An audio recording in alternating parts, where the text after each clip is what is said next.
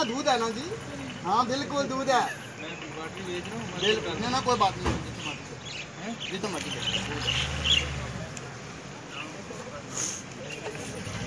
चाय पीना। दूध। है। हाँ गाय का मिक्स है। मिक्स की मिक्स है ना हम तूने मिक्स करके लाया? हाँ मिक्स कर दो तो नहीं। और भैया आप मिक्स नहीं कर सकते हो। आपने गाय का है तो गाय का दे दो भैंस का है तो भैंस का दे दो। मेरी तरफ़ से जिस चीज़ का लोग खाते हैं मिक्स नहीं करना है। तो तो ठीक है। आप तो फंस गए नहीं? मैंने लेबार्टरी भेजना था गाय करके उधर से भैंस का निकलता भैंस करके निकल। कहा- ठीक है सुनो ना बात समझी नहीं ना मैं वो कहाँ प्लीज़ ये ऐसे बातें करते हैं। लिखो पूरा एड्रेस लिखो। इसका पूरा एड्रेस लिखो यार व्यक्ति इसने घर में रखी है मिक्सिंग की में।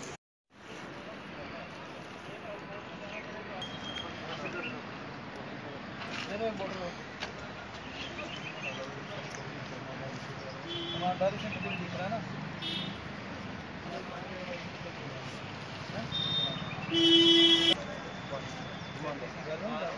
ना ना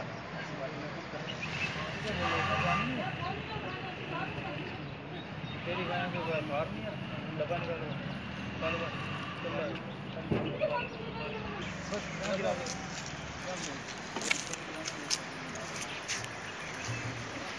करे लोग ईमानदारी से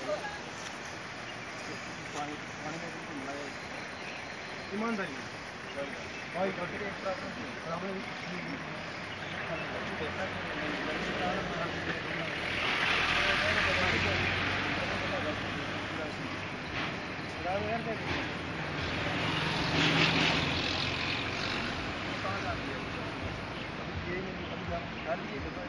इतना ही दूध मेरे पास दूध ही नहीं।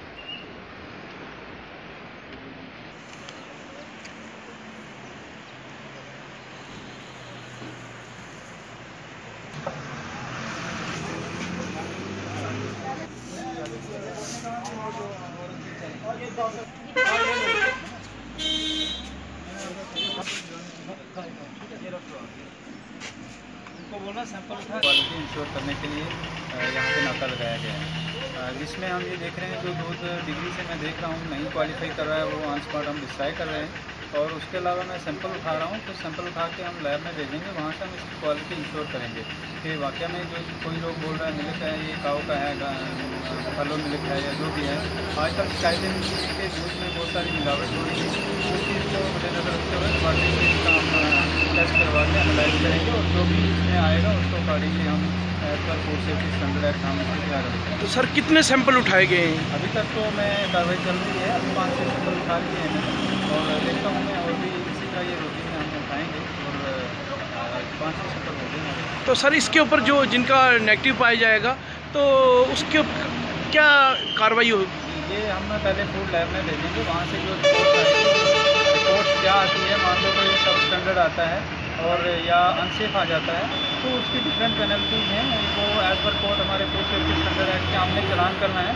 वहाँ पर कोर्ट डिसाइड करता है कि फाइन पेनलाइज करते हैं। और खासकर सर ये जो दूध बेचने के लिए आते हैं, सर, इनको आप क्या कहना चाहेंगे? मैं आपके माध्यम से यही कहना चाहूँगा कि ये जो अनयूजल प्रैक्टिस हैं और हमारी रूटीन है कि हम एक तो दूध जो है, जैसे मैंने दो तीन डिफॉल्टर पकड़े हैं, उन्होंने क्या किया, मैंने पूछा, दूध गाय का है या भैंस का है? तो उसमें एक ने बोला, नहीं, दोनों का मिक्स है।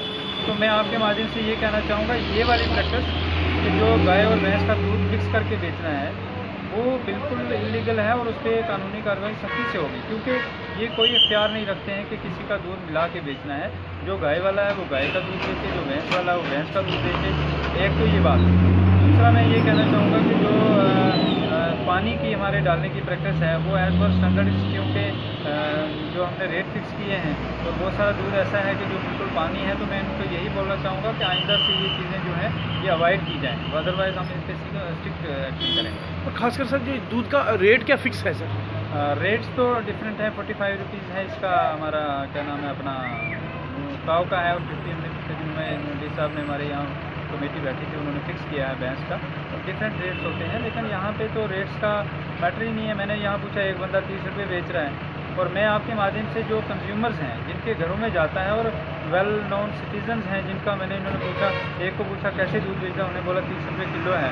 और दूसरे को पूछा तो गाय का ही है? वो बोला, चालीस रुपये किलो है। तो मैं आपके माध्यम से ये बोलूँगा, इसमें दोनों लोग जो हैं इन्वॉल्व होते हैं। चाहे फ़ूड बिज़नेस ये बेचने वाले लोग जो हैं और लेने वाला। लेने वाले को भी सोचना चाहिए कि अगर कोई तीस रुपये किलो दे रहा है तो तीस रुपये तो आज की डेट में दूध अवेलेबल है ही नहीं है। और दूसरा कोई अगर पचास रुपये बेच रहा है तो वो डिफरेंस क्यों है? तो वो वहाँ से खुद असेसमेंट करे। दैट मीन्स कि उसको पता होना चाहिए कि अगर तीस रुपये किलो ले रहा हूँ तो उसमें तो ऑब्वियसली पानी होगा ही। ऐसी बात तो है लिहाजा मैं कंज्यूमर्स को भी ये बोलूँगा कि जो रेट्स के अकॉर्डिंगली अपने दूध पे अगर कोई आपको कम बेचता है आप उस हिसाब से भी उसको इंश्योर वो खुद भी कर सकते हैं तो अलावा अजी मैं आपके माध्यम से यही कहूँगा अगर कोई कंप्लेंट आती है किसी को कुछ भी है तो मेरे कंटेक्ट सबके पास है वो मुझे कंटेक्ट करें और हम इस पर लीगल कार्रवाई करेंगे bureaucracy, civil services, indeed, coaching, mentoring, and personality development. Our faculty is a facility for you. Our management, our faculty, and our infrastructure are state of the art in their own right. We provide coaching for IAS, KAS, general studies, and optionals, CSAT and banking, NET, JKSSRB, and SSC. We are also an English learning academy. Best of luck.